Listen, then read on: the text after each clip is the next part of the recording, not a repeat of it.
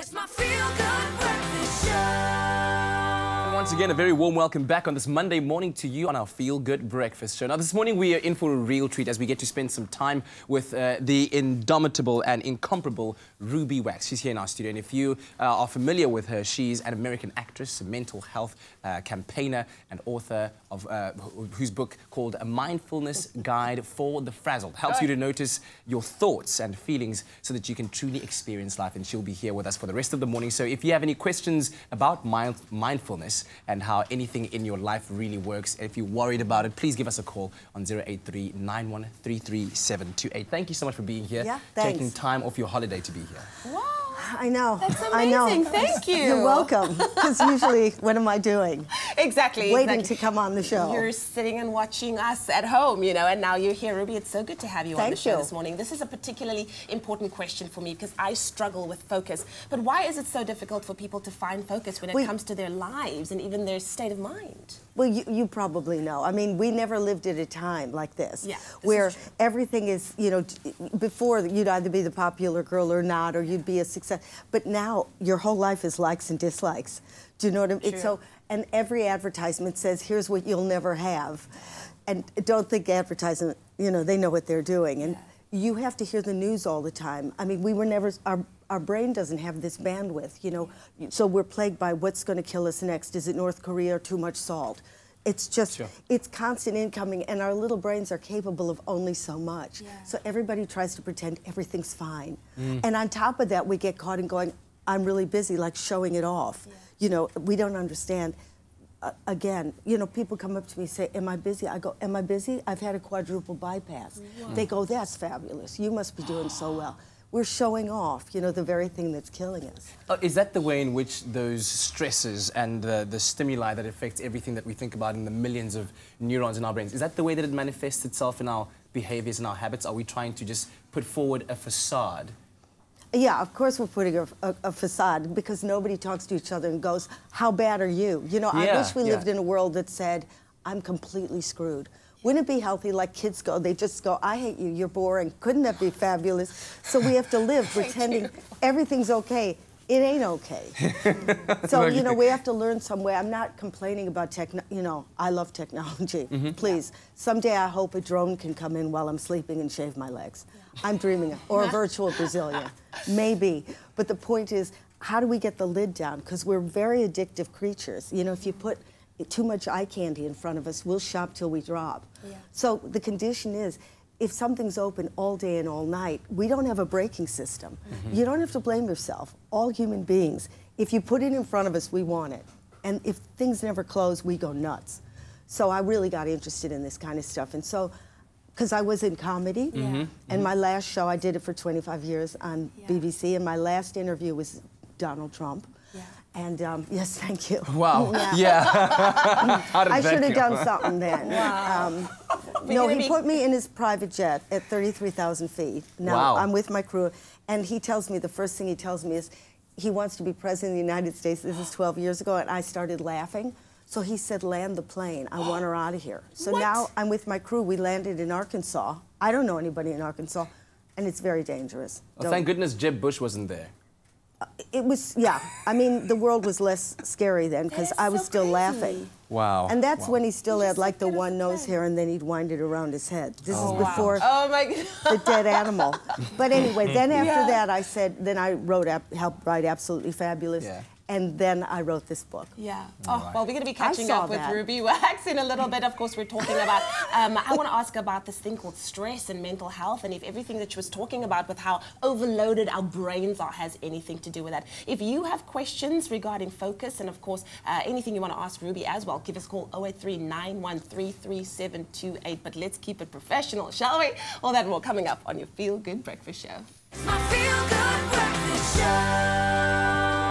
Right, back on the hot seat, Ruby Wax, TV personality and author of a mindfulness guide for the frazzled. And aren't we all frazzled? We need some kind of lifeline out there. So if you've got any questions to ask about how to live a more mindful life, give us a call on 083 yeah? We want to talk about this thing called stress, and a lot of people are going through stresses in this life. Is it is it possible that what you were talking about, how overloaded our brains are with all of the noise, all of the stimuli, all of the information, that it's leading to mental health problems, that it's mm. leading to stress problems? Yeah, but we use stress in a really lightweight, you know, Yeah. way. Like, oh yeah, you know, I'm run off my feet. I'm a, what does that mean? You're running on your ankle stubs. You know, what, what is? We just use these. C- But what you you have to get it is such a lightweight word. Once it's it's a chemical in your head. Stress isn't something that's happening out there. Mm. Yeah. It's manif- It's the reason you go into a red mist is something actually is happening. Yeah. And if you let it keep going, and there's a reason why now in society we can't shut that floodgate off, Yeah. is it leads to, I don't want to be depressing in the morning. No, no, no, no, this is good. stress- We're learning from Yeah. this. Stress breaks down your immune system. And gradually, gradually, if you keep it up, it'll break down, you'll, it, it leads to uh, infertility, obesity, premature aging, loss of memory, certain cancers, diabetes too. You know, if people understood everything starts in the mothership, the way you think affects your body. There is no mental and physical, it's the same thing. So if you don't care about stress, believe me, it'll get you in the end. Wow. So, so wait, this is my mind, right? Yeah. I, I, I'm in control of the mothership, you know? Yeah. So why is it You're that... not in control of the Okay, that's the question I need to... Yeah. Why is that floodgate remaining open and all of these stresses are coming through? Why can't I just go today? Okay, do, do you have a few minutes? You gotta Yes, go, we go, do. go. so you know let me just give you a little history of your brain in the past you know the, re, the way we were made you know the original manufactured human was perfect. This thing worked perfectly in the environment. We were completely suited. So if a predator came along okay we'd get this hijack of let's call it stress cortisol and adrenaline. We'd need it. So either we'd scram or we'd take it on. Yeah. so if we were either after the incident, we were either lunch or we were having lunch, and that stress would come down and we'd go back to grazing, you mm-hmm. know, or whatever we were doing. The problem is if you keep now, we're stressed whether something's behind us, like a predator, or something's happening 20,000 miles away. Our brain can't tell the difference. So if you start, you know, talking about what happened with Angel. Angelina Jolie or whatever. I'm getting, it's nothing to do with me, but I get an arousal. And you hear bad news, it's mm-hmm. constantly being pumped in because humans, sorry to say, we're Yeah. addicted to bad We news. yeah. And we want more and more and more because stress feels really good. Adrenaline is real tasty. And so we even, you know, jack up the news so that we'll feel it even more. Oh, wow. Now we have to have some kind of braking system. And we aren't human beings. We don't come with, it doesn't come with the package. So things like mindfulness, and there's other methods. This isn't for everybody. You have to learn to navigate the noise. Technology is only going to get more intense. So now we have to upgrade our minds as much as we've upgraded technology to understand. You know, everybody's pumping iron, you know, and you don't get a six pack with one sit up. Now they know, I'm sorry.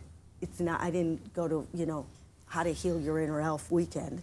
I went to Oxford University, not bully for me, because I really wanted to know. Mm. I don't want to burn out. Mm. So hmm. they weren't offering witchcraft at Oxford. They were offering this. and so I turned it into comedy. That's the book is humorous, Yeah. but it really is the real stuff Yeah. about how do you get this thing down while everybody around you is burning out. You're not going to stay like that because we're infectious. Yeah. But at least I can cool it for a few seconds to think clearly. I'm going to ask you to please stay with us because clearly there's a lot that we can still learn from you. And please do give us a call if you've got any questions. 083-913-3728 is the number to dial. Wow. Okay. All right. Let's head on over to the kitchen right now. It's my feel good breakfast show.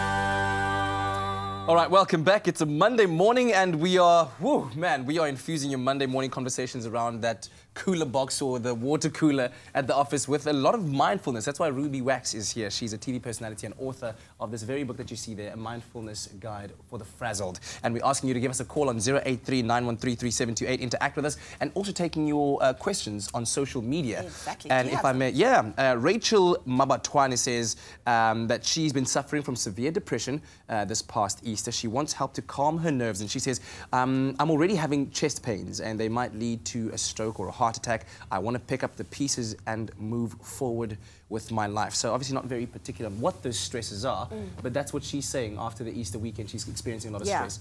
How, what would your advice be Well, to her? first of all, let me say there's a difference between stress and depression, okay? You got it. Depression is a disease. It's sadly called depression because it means you're having a bad hair day. It's just like it's like Alzheimer's, right? It's the real thing. You wouldn't say to somebody with Alzheimer's, "Oh, come on, you remember where you left the keys." This she needs medication. I'm sorry. Mm-hmm. If it's if it's anxiety, forget medication. It's a human condition or sadness. Mm-hmm. But depression, if you really have it, you can't get out of bed. Yeah. So for me, medication. You can't do mindfulness while you're, you know, when the mind is gone, what mind, you know, you can't be aware. Mm-hmm. So um, I, I think once once she's, you know, back to herself, you have to go to the gym. I mean, everybody, you know, we're obsessed. You know, when I got to England, people weren't 20 years ago. People weren't even brushing their teeth. Now everybody's in the gym. Yeah. Same with your mind now. I mean, if you glaze over and go, really just wave, wave some, uh, you know, a crystal. The point is, in science, you can either believe it or not. If you're a Mormon, leave the room. Uh, in science, they know now. It's called neuroplasticity. Yeah, yeah. Um, it, that you can change your brain. You can change it by changing the habits of how you think. Because we think when we come into the world, that's how we're going to leave. And now they know it's you're breaking a habit. So some people really hold on to who they think they are. Oh, I'm a victim. I'm a bully. We aren't. We're infinite things. Yeah. So you can switch tracks. Yeah. Uh, if you exercise, it's an exercise. Nobody's going to give you a pill, and it's okay. When did we think that was going to happen? Let's take the next question that came that come from uh, Valdine Fortuyn, and she says, um, um, "I don't, I don't let anything stress me out. At the moment I feel something is bothering me, or someone said something to hurt me, I immediately deal with it. Uh, I never ever go to sleep with a broken heart. Uh, talk about what is hurting uh, is the best, or to talk about what is hurting is the best thing you can ever do to deal with it. And uh, for what for Buntle, What's that for, Buntle? Just take a deep breath and uh, be yourself. So, so let's just go off to, to Valdine's comment there about not letting anything uh, that anybody says hurt her. What, do- what do you have to say to that? Uh, never go to sleep. Okay, look, we're all different fingerprints. Who am I to say what your reality is? If everybody, she should not read my book, okay? Most people can't go to sleep, or a lot of people I know, because they're thinking about thinking about stress, about stress, about, you know, you get stressed. We're supposed to. You know, we're built for it. But when you start thinking, I'm not good enough, nobody likes me, this is a new phenomena. I'm going to get caught, which I'm thinking now, and you're probably thinking um, you know, th- these self doubts. I, I could talk about for hours why we have them. We have them.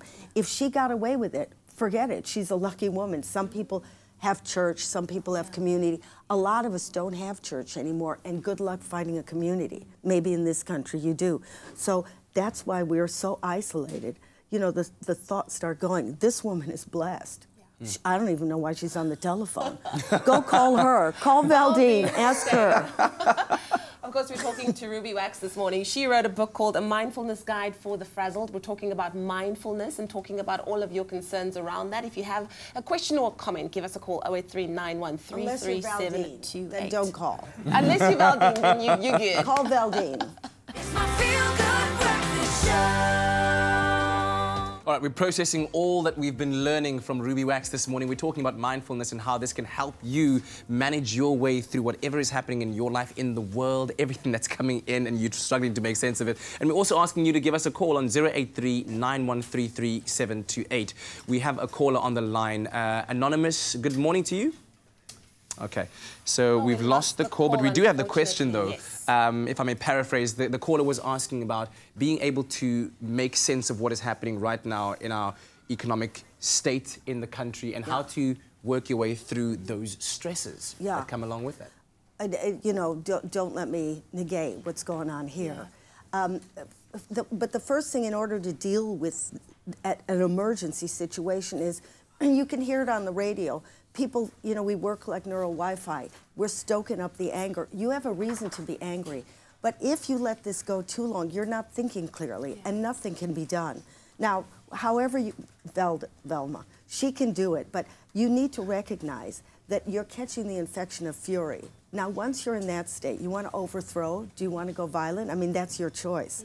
But if you can learn to get that cortisol down and not go into that fight and flight state, then people can start to make decisions that make more sense. I'm not saying don't be angry, you know, it's a human condition, but don't feed on it.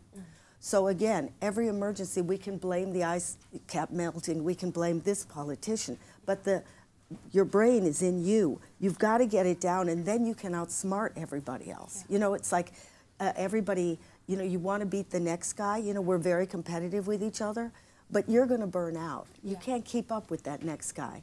So if you can learn to get that cortisol down and and pull the brakes back, you won't stay there.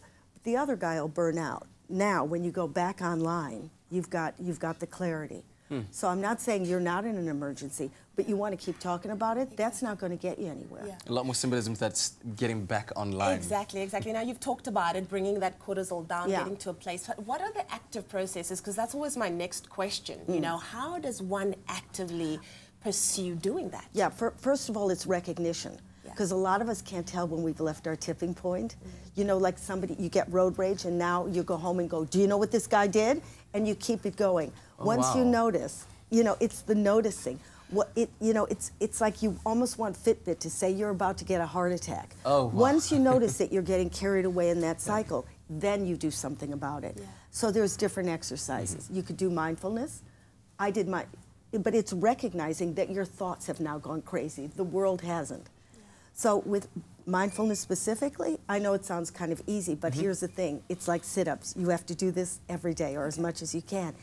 You hear the gabbling in your mind. Everybody has that. Mm-hmm. But if you take your focus from the "you're not good enough," everything's and you send it to any physical sense, it sounds really easy. Like if you start tracking your breathing, or you just start listening to whatever sound there is, can't do it immediately the gabbling stops because the, amyg- the the stuff that makes the cortisol, which is the amygdala, it, it, it is in your brain. It's, Yeah. I haven't made it up.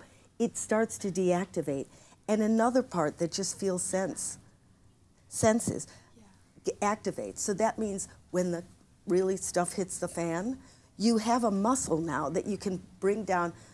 A kid, and I've talked about in the book for kids taking exams. If you cram them, they're going to screw up Yeah. Mm. If the kid learns, and they're teaching it in schools now, to just get that red mist down, and they have like ways of teaching kids, Yeah, but it's yeah, fun, yeah. they will do much better. So mindfulness, the act of mindfulness, is like every is like cognitive therapy. You see you're going over the edge, Yeah. and now you walk out of the room or go run, but do something about it. The reason you do mindfulness is usually when uh, the boss is about to rip your head off Yeah. It's hard to get a jogging suit on and run.